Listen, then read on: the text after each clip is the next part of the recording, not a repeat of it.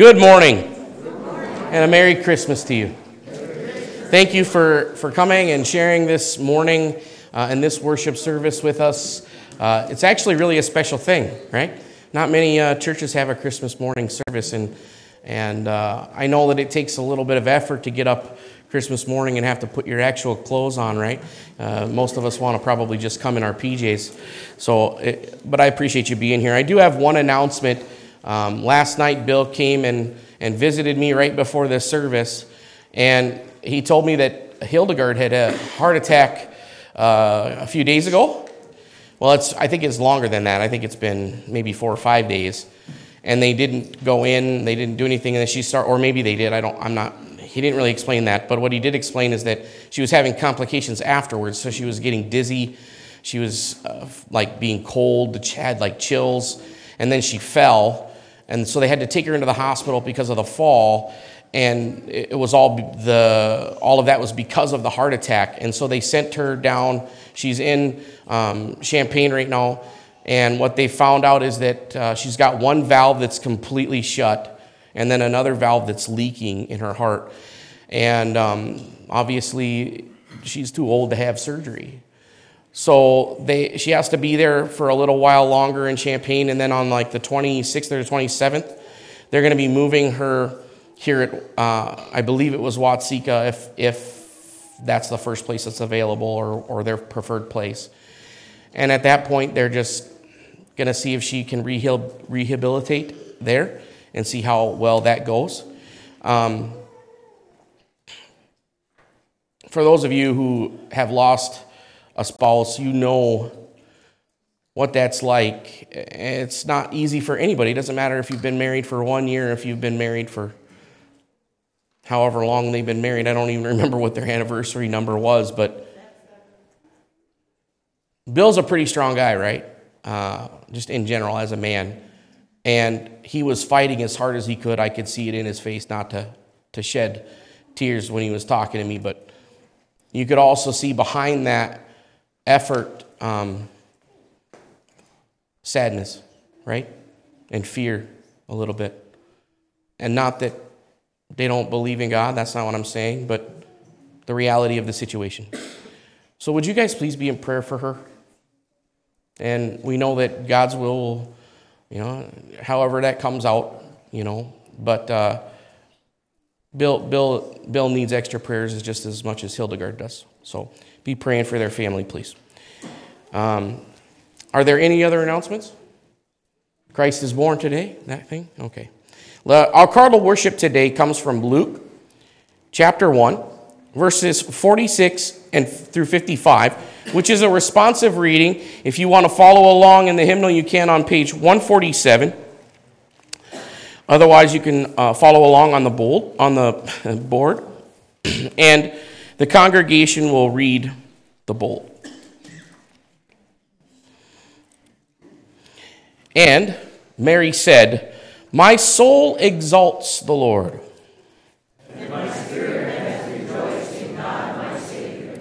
For he has had regard for the humble state of his bondslave. For behold, from this time on, all generations will count me blessed.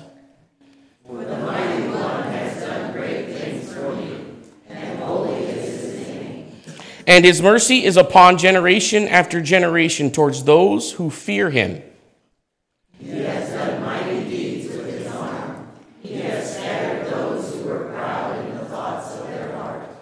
He has brought down rulers from their thrones, and he has exalted those who were humbled. He has filled the hungry with good things, and sent away the rich empty-handed. He has given help to Israel, his servant, in remembrance of his mercy.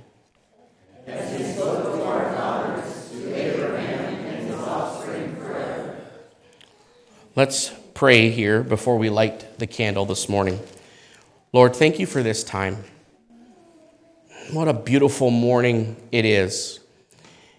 We're not just excited about getting gifts, Lord. We're not just excited to, to sing. We're not just excited about all the season, but, but Lord, we're, we're excited that that in you, Lord, we find our move, our meaning, and who we are. How can we not be excited at the celebration of your birth? The pivot of all time rests in your manger. Thank you, Lord, for your mercies and your love. May you be glorified in this service, Lord, and hear our prayers and our worship to you. In your holy name, amen. And call on Brecken to come light the candle. The Christ candle is our last candle in this season. Um, and it's almost obvious, right? I don't even know if I need to explain it, but the white is for the purity, right? The perfect, spotless lamb. Perfect, perfection in all ways. And it's lit with light, like the light of the world who shone in the darkness. Please light the candle.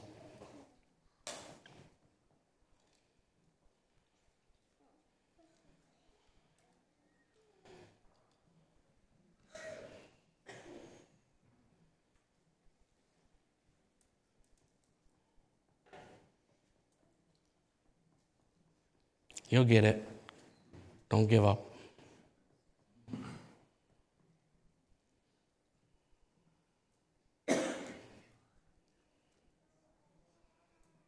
Just like Christ never gave up on us, don't do it. That light has to be lit, right? All right. Thank you, Brecken. You can go now.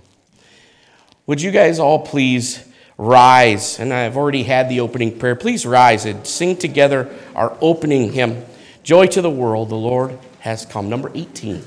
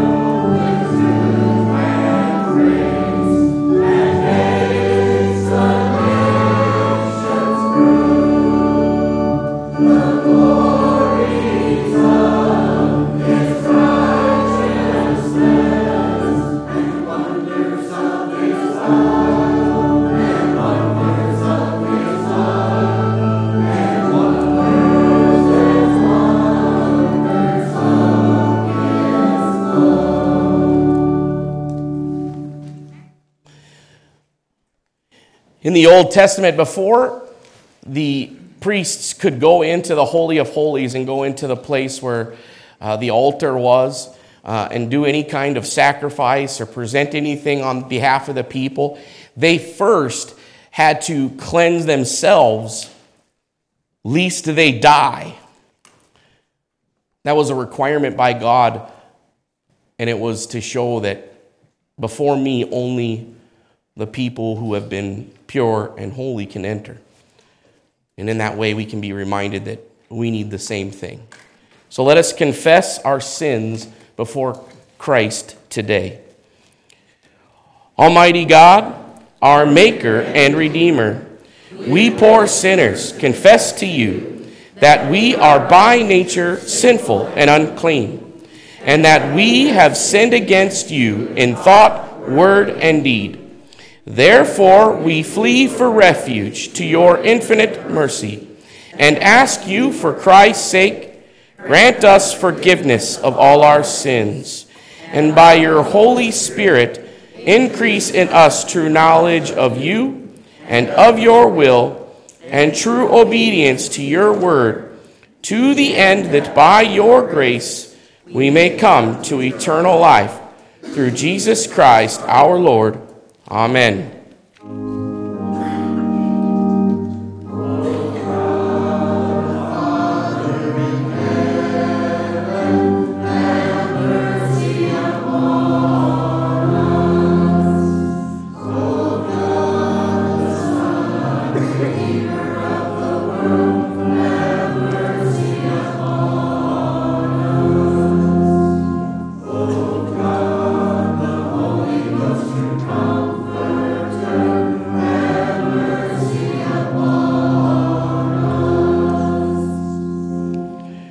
Receive the declaration of grace and absolution this morning.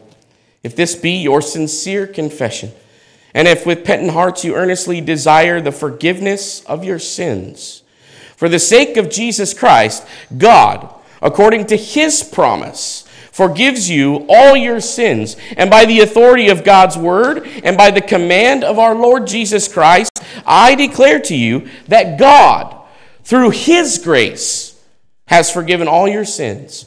In the name of God the Father, the Son, and the Holy Spirit. Amen. Please be seated. I'd like to call on the scripture reader at this time.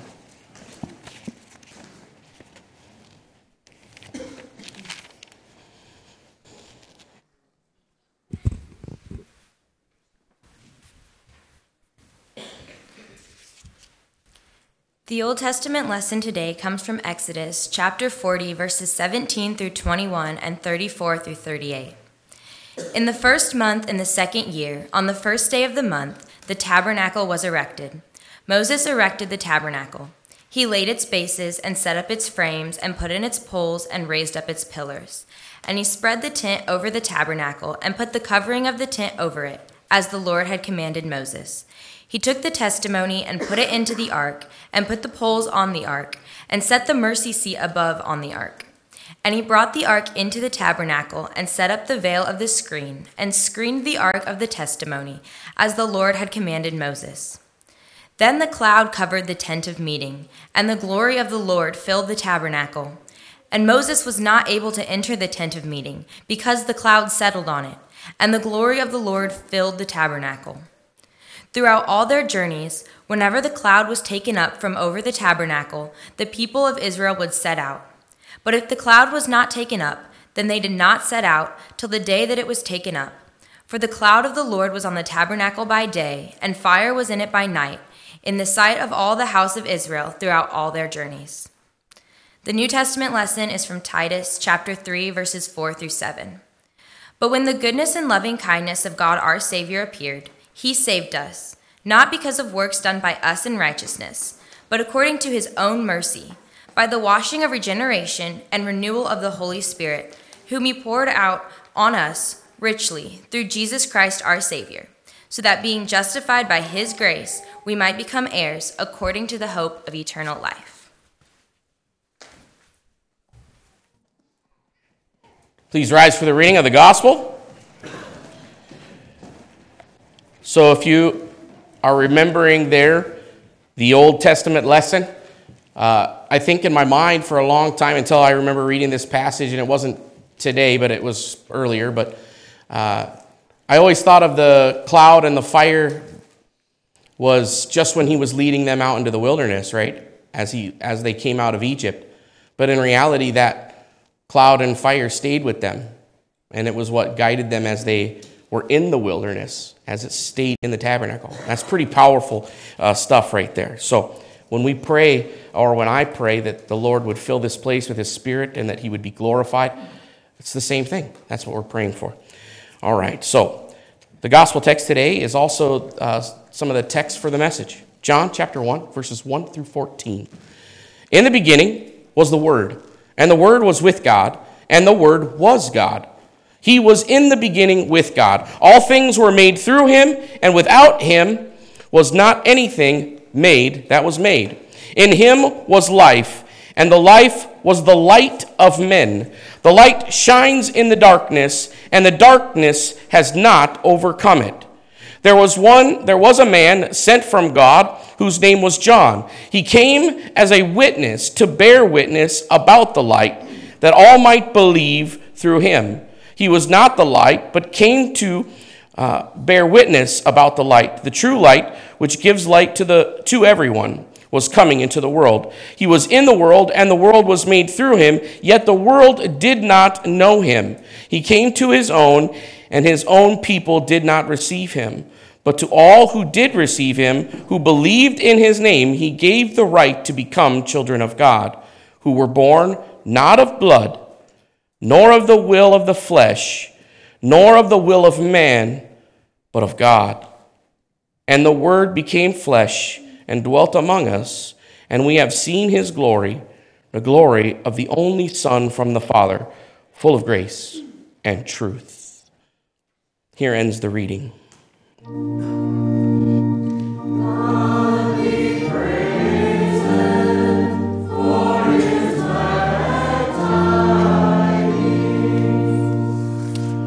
Today we'll be confessing our faith in the words of the Nicene Creed. If you'd like to follow along in the hymnal, it's on page 18.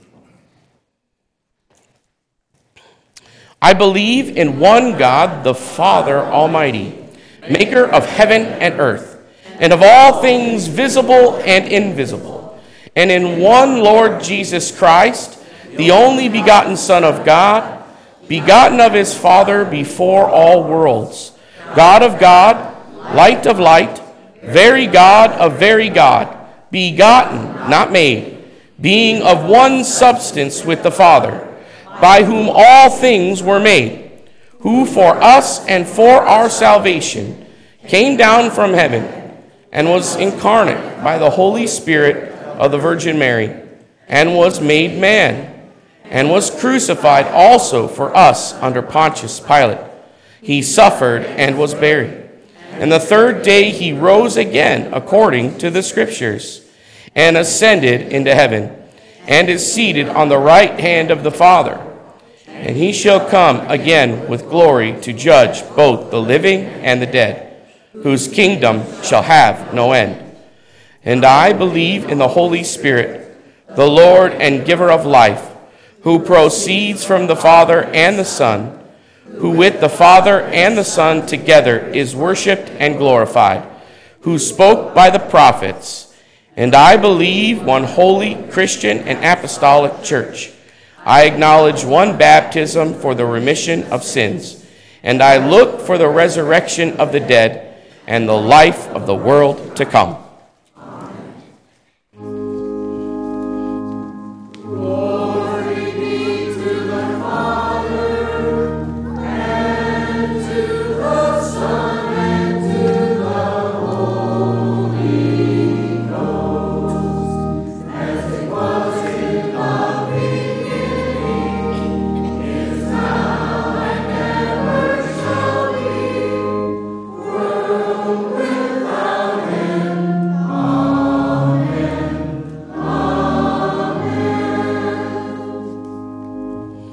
Please be seated.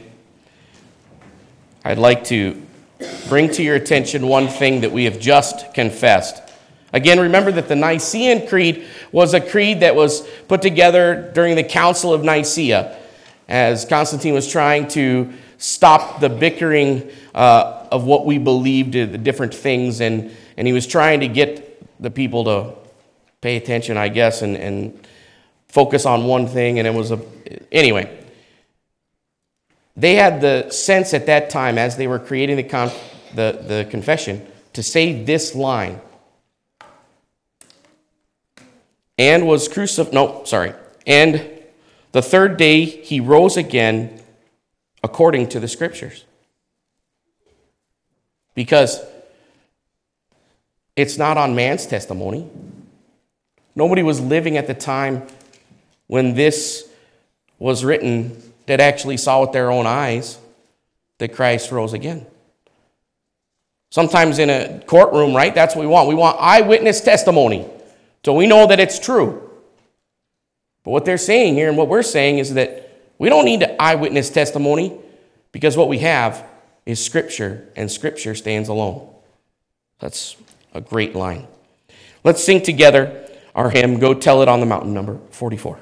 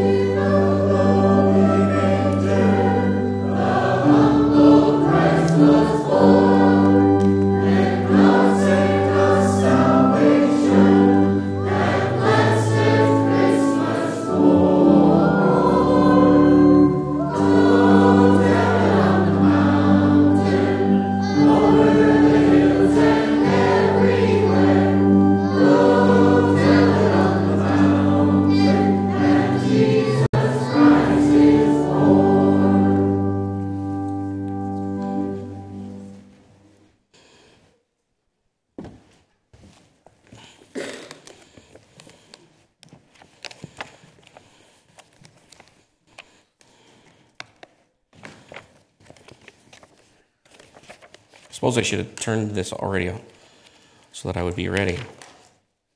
Who needs to be ready anyway? Right? I've already read the, the passage that will be that I'll be speaking on today. So to begin, I I wanted to know what what's your favorite superhero, right? What's your favorite superhero?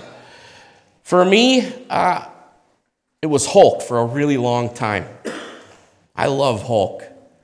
I love watching him just smash stuff, right? Like inside of me, there's a Hulk that I have to hold back. And sometimes just watching him destroy stuff makes me feel better inside. And then, and then I would say that my ultimate favorite is Batman. Because I know I wish I could be rich like him, but, but the reality is he's just a man, and yet he's able to do some great stuff, right? And you just don't mess with Batman. That's how it is, right? I don't know what your idea of a hero looks like in your head. What, what does a hero look like? We've seen, you know, or heard stories of men who fall on grenades to save their comrades. There's all different men and women who run to the face of danger, right, without looking back men who will run into a burning building. That's just insanity. In the beginning was the Word, and the Word was with God, and the Word was God. He was in the beginning with God. All things were made through him, and without him was not anything made that was made. In Colorado, there's, uh, and it's been a sculpture kind of area for quite some time because there were a few very famous sculpture makers that would make sculptures that would go around the world, and they were stationed there in Loveland. And some of the stuff that they make is just phenomenal. And most of it's bronze sculpture stuff. I can't imagine what that's like to try to make a mold and pour that bronze and, and do everything that they have to do to create those statues. So, so if you ever go to Loveland, if you're ever driving through Loveland, you know that's where I grew up in Colorado, and you have to drive through there to go to Estes Park for the fly convention. If you ever get an opportunity, you got some extra time, they have a sculpture garden there. But you also notice that almost every major building of any kind in the area has sculptures outside of it. And when they make that, to me, I'm reminded of the idea of Christ creating everything, right? I mean, it's kind of small in comparison, but there's a difference between that sculpture maker making a sculpture and me making a sculpture. This is me. Beautiful. When they do something, it's way better. When God created the heavens and the earth, we read in Genesis, it's perfect. There's, there's no better maker. There's no better planner.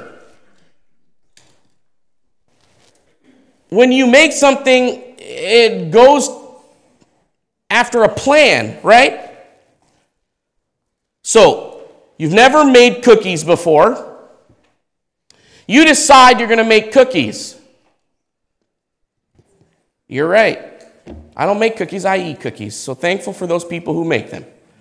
But would you just be like, nah, a little bit of this? I, you know, some of the people in here, younger, really younger. Well, actually, they're not really younger because it was, I think it was Cooper that I, that, that I said this to. They don't know who the cook is from the Muppets. How can you not know who the cook is, right? But, but if you're going to make something you never made it before, is that what it's going to look like? The Muppet Cook? Just throw this in here. You know, that's not going to work. What's going to come out? It's not going to be a cookie. And it's going to taste not like a cookie. It has to go to plan. God's plan is perfect. Not one thing is made without Christ having his hand in there.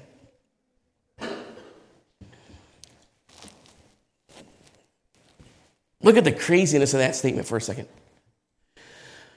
In your mother's womb, you were knitted together by Christ. God knitted himself together. Isn't that interesting? As Christ was made, he was begotten, but when he became man and he was in the womb, as he was conceived by the Holy Spirit, as he grew as a, what do they call that again, Brandy? The baby before it's a baby? The fetus, there you go. I was thinking of something else. As he was a fetus, God is God is knitting himself together. Nothing is made and not created without, without him. So he's literally doing the work there.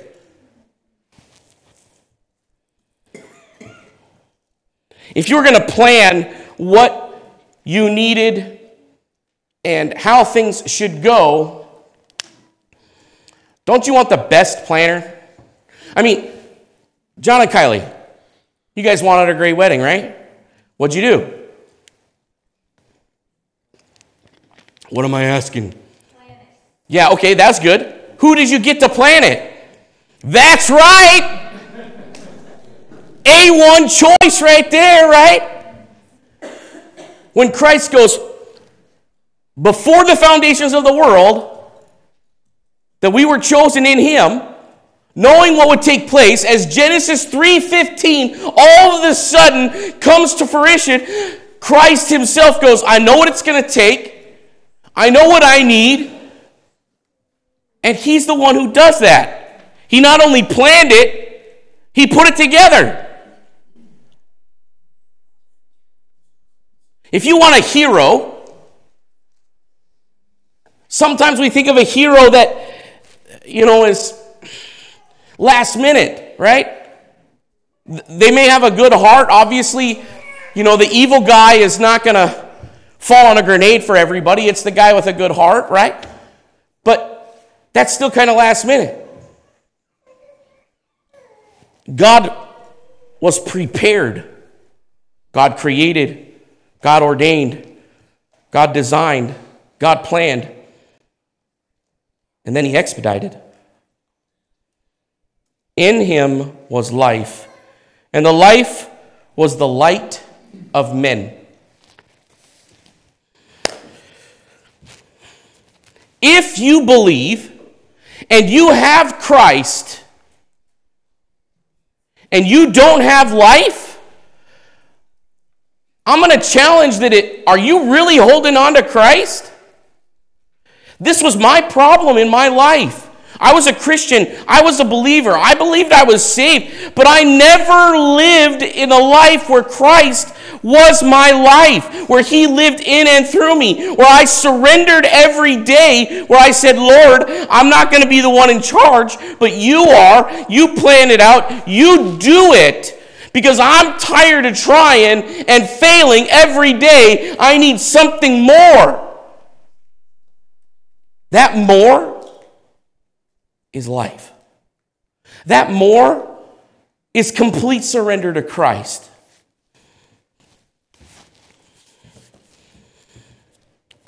The light shines in the darkness, and the darkness has not overcome it. Wouldn't it be nice if the Cubs or the Bears just had a perfect season? Wouldn't it be nice if they were always victorious? Wouldn't it be nice if they were the Packers? Yes. yeah, yeah. That stings a little, doesn't it? Oh, man. Christ's victory record is perfect. So if you're going to get in the ring and you're going to go to toe to toe with somebody, when you're going before that person, you're getting ready to get in the ring, how many people would be like, "Yeah, I want to go into the go in the ring with somebody who's never lost"? Especially if there's a lot of record there. Like say from eternity. In fact, might I say that if you're going to challenge God in that way, you're absolutely foolish. Maybe you're following the king of foolishness. So, do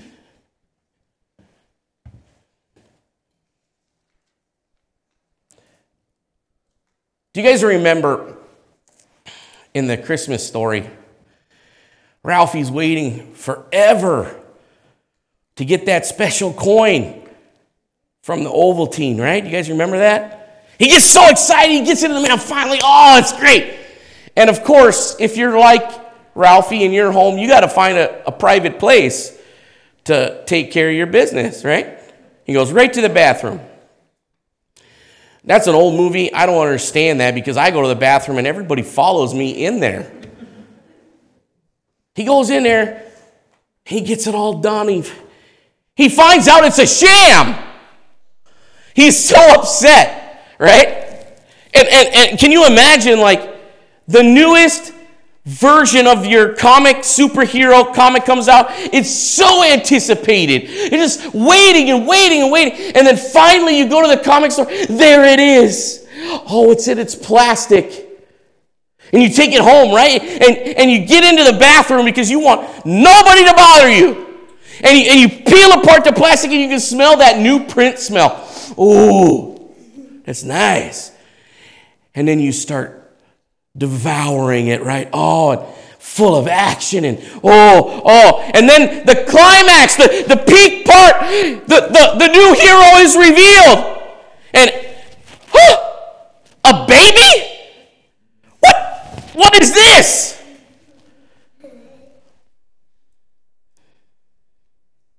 You're thinking of a superhero, the last thing you think of as a baby, right? What can a baby do? Well, if it's Christ, in the end, he can do everything.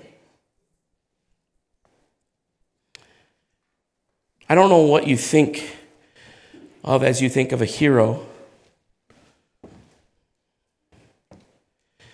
Tina Turner had it right when she said, We don't need another hero. But she completely had it wrong in the next line where she says, We don't need a way home. Because for us, the hero is the way home. As we celebrate Christ today, let us be reminded that He's everything. He's the only thing. He's the way, the truth, and the life. And there's no other way to the Father but through Him. Perfect. Perfection. Let us believe today. Hold tight. Hold tight to the mercy and the glory of the cross, of the manger, the life, death, and resurrection of Christ. Please pray with me. Thank you, God. Thank you that all the infinite power, the majesty, the glory, the divinity of God in that little tiny living space. May nobody ever challenge your capability. When we wonder, Lord, if you're listening, if you're there, do you care? Well, you cared enough to be a baby, to be victorious when everything else failed. Because in reality, all those other things were just pointing to you because they can never match your victory. We're thankful for you this morning. We celebrate your birth, Lord. In your holy name, amen.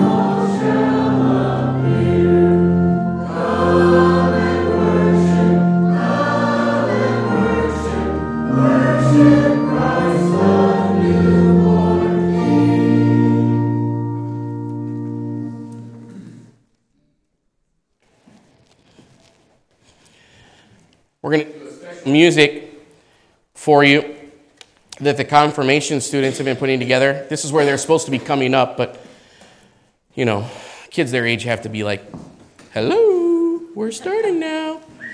Now, when I was talking about planning, this is, this is what happens when you don't pay attention to your planning. I have music because I don't have the words memorized as we sing. And then I use those words for a demonstration. And now I have to use that to sing from. So uh, you got two demonstrations from that. That's okay. Oh. Oh, you're so nice.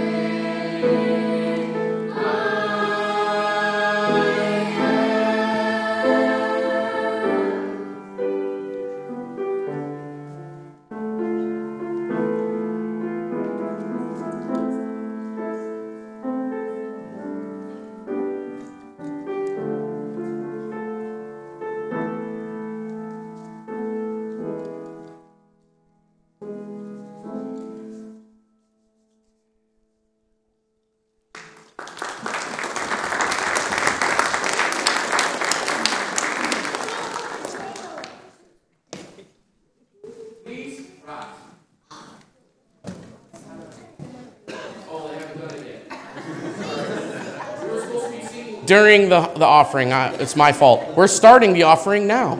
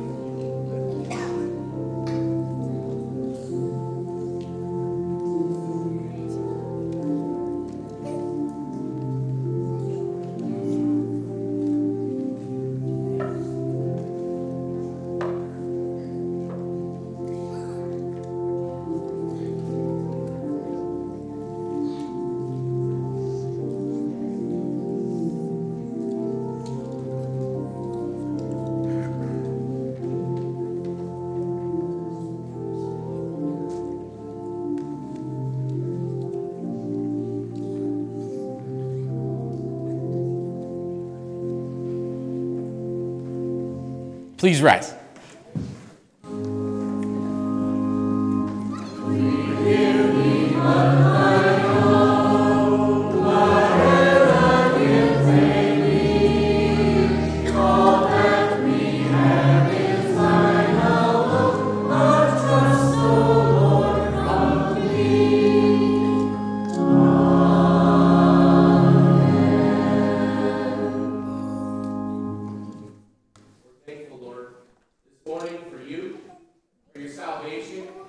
For your birth.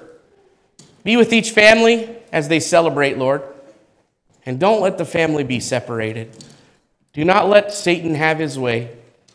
May he not separate the congregation. May he not separate families, Lord. Be with each one who could not be here today, all those who are sick, those who are ailing, Lord. Be with Bill and Hildegard today. We pray for all these things in your name. Amen. Please be seated. Dearly beloved, as we propose to come to the Holy Supper of our Lord Jesus Christ, we should carefully examine ourselves as St. Paul exhorts us. For this holy sacrament has been instituted for the special comfort and strengthening of those who humbly confess their sins and who hunger and thirst after righteousness. But if we do examine ourselves, we shall find nothing in us but sin and death, from which we cannot set ourselves free. Therefore, our Lord Jesus Christ has had mercy on us and has taken on himself our nature, that, we, that he might fulfill for us the whole will and law of God, and for our deliverance suffer death, and all that we through our sins deserve. And to the end that we should confidently believe this and be strengthened by our faith, he has instituted the holy sacrament of his supper, in which he feeds us with his body and gives us to drink of his blood. Therefore, whoever eats of this bread and drinks of this cup, firmly believing the words of Christ, dwells in Christ and Christ in him, and has eternal life. We should also do this in remembrance of him, of his death, and how he was delivered for our sins and raised for our justification. And with grateful hearts, we should take up our cross and follow him. And according to his commandment, love one another, even as he has loved us. For we are all one bread and one body, even as we are partakers of this one bread and drink of this one cup. Let us pray together the Lord's Prayer. Our Father, who art in heaven, hallowed be thy name. Thy kingdom come, thy will be done, on earth as it is in heaven. And give us this day our daily bread, and forgive us our trespasses, as we forgive those who trespass against us. And lead us not into temptation, but deliver us from evil. For thine is the kingdom, and the power, and the glory forever and ever. Amen. Our Lord Jesus Christ, in the night in which he was betrayed, he took bread, and when he had given thanks, he broke it and gave it to his disciples, saying, Take, eat. This is my body, which is given for you. This do in remembrance of me. And in the same manner, he took the cup, and when he had eaten, and when he had given thanks, he gave it to them, saying, Drink of it, all of you. This cup is the New Testament in my blood, which is shed for you and for many for the forgiveness of sins. This do as often as you drink it in remembrance of me. The table has been prepared. We'll call on the ushers to usher you forward.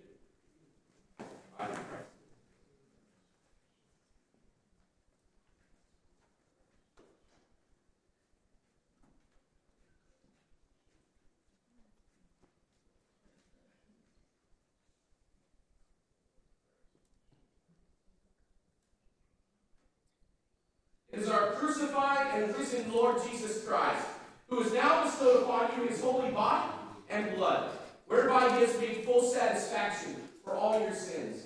May he strengthen you and preserve you with the true faith and everlasting life. Peace be with you. Amen.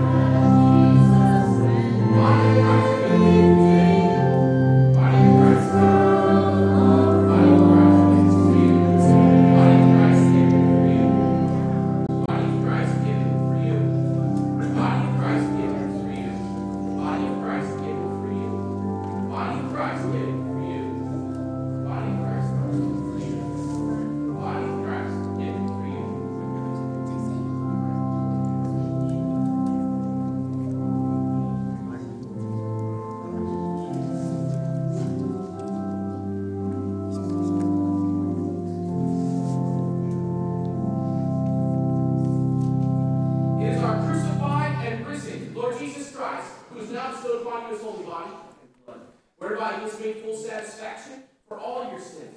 May he strengthen you and preserve you with true faith and everlasting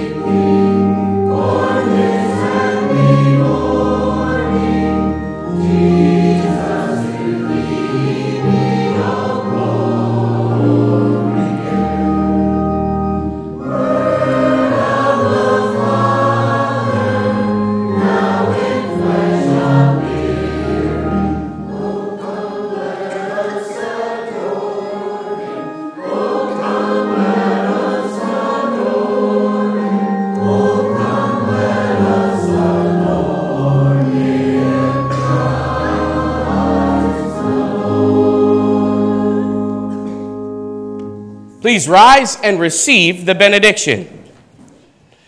Now, may our Lord Jesus Christ Himself and God our Father, who has loved us and given us eternal comfort and good hope by His grace, May He comfort and strengthen your hearts in every good work and word.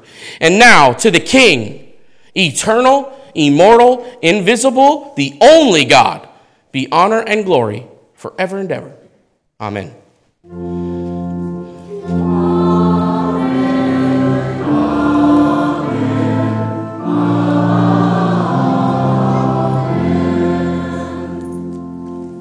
May we not just sing this, but may this be the condition of your heart. Hymn number 34 Good Christian Friends, Rejoice.